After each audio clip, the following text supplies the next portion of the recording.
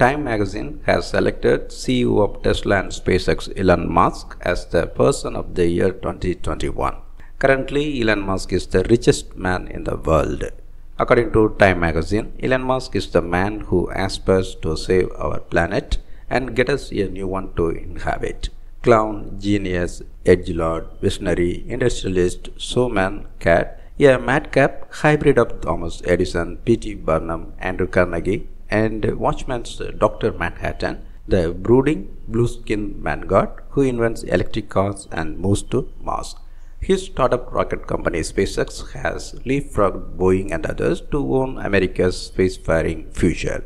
His car company Tesla controls uh, two thirds of the multi billion dollar electric vehicle market it pioneered and is valued at a cool $1 trillion that has made Elon Musk, with a net worth of more than $250 billion, the richest private citizen in history, at least on paper.